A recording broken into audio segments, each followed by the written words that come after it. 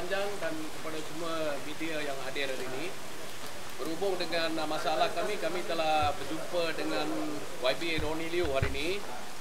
Jadi uh, kami telah mendesak supaya kerajaan negeri akan mengambil tindakan. Sebab apa uh, apa yang perbincangan dengan pemaju tadi Pemaju tidak bersetuju untuk menarik balik perintah mahkamah yang dia keluarkan. Jadi dia tetap berpegang untuk merobohkan dua rumah tu. Jadi kita minta kita minta apa-apa kepentingan yang yang yang pemaju ada, contohnya macam projek-projek yang dia jalankan, kita minta kerajaan negeri supaya berhentikan semua projek yang dijalankan oleh pemaju supaya dia boleh turun untuk berbincang untuk selesaikan masalah kita. Jadi saya rasa uh, hari inilah petang ini mungkin tindakan itu akan diambil. Akan diambil dan YB Roni Liu juga telah bersetuju di mana YB Iskandar yang itu Exco Perumahan Setinggan berada di luar negara.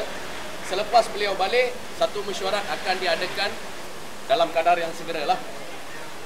Jadi itu saja yang telah kami bincang. Jadi segala masalah yang uh, apa ni berhubung kait dengan blok E ini akan kita bincang kemudian. So what did the MPPJ mayor say? MPPJ mayor, mayor said they will they will take uh, action lah, immediate action. Developer lah. Ah. If, some, if the developer demolish the houses, Yes. they will they will take action. No, before that, today, today we take action. Today, They will today, take today, action. immediate immediate action. Okay.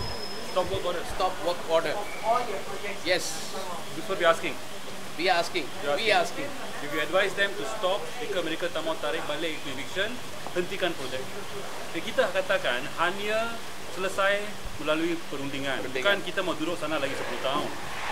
Have discussion, solve the problem, kita boleh keluar, tak ada masalah. Tapi itu pun jika kita mau tidak mau ikut, stop his work lah.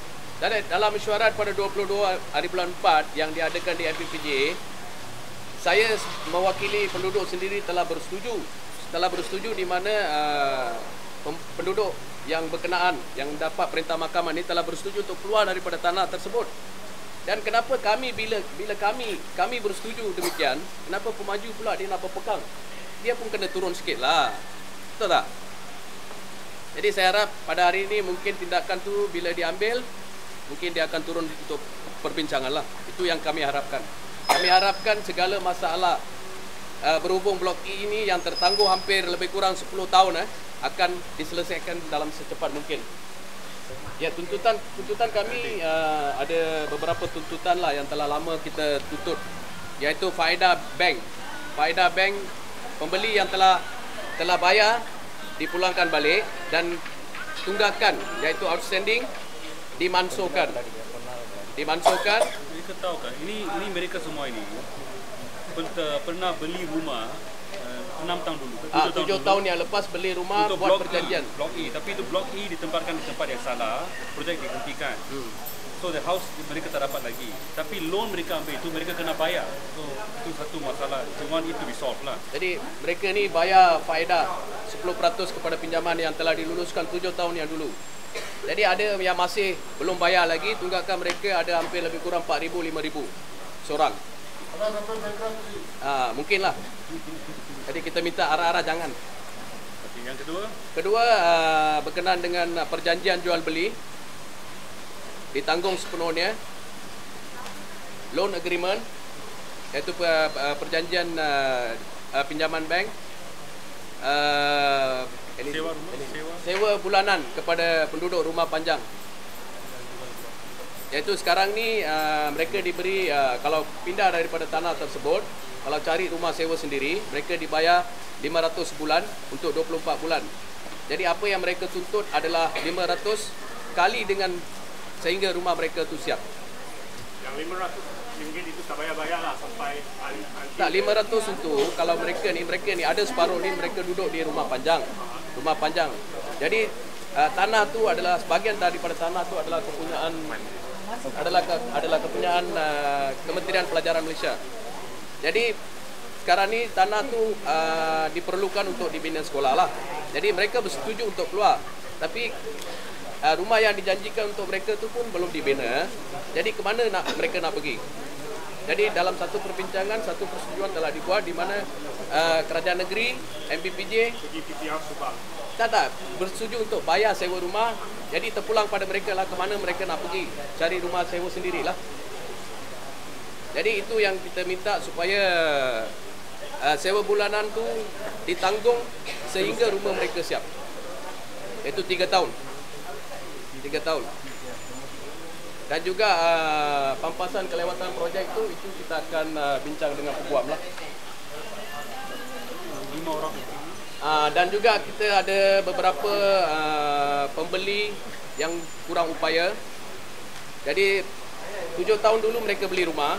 Masa tu mereka umur umur umur, uh, umur mereka lebih kurang 40.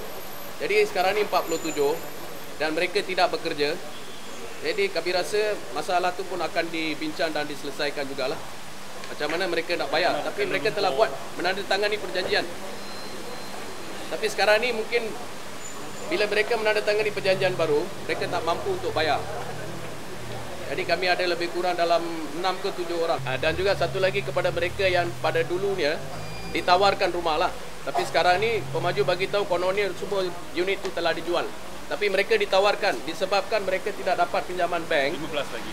Jadi uh, pemaju telah menolak telah menolak uh, tawaran mereka lah. Jadi sekarang ni masih ada beberapa mereka tu masih tinggal di rumah panjang. Uh, satu lagi adalah penduduk uh, Lembah Subang. Lembah Subang yang telah dipindahkan 10 tahun dulu daripada Setinggan.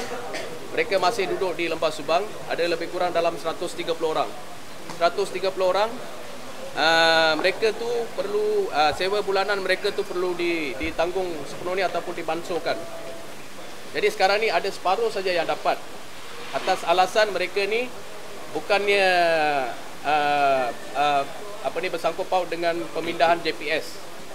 Yang mendapat pemansuhan sewa bulan ni adalah mereka yang dipindahkan oleh JPS. Jadi apa yang kita minta walaupun dia duduk mana dia perlu dimansuhkan sewa bulanan sebab apa dia adalah pembeli blok E. Hidup rakyat! Hidup rakyat! Hidup rakyat! Hidup rakyat! Hidup rakyat!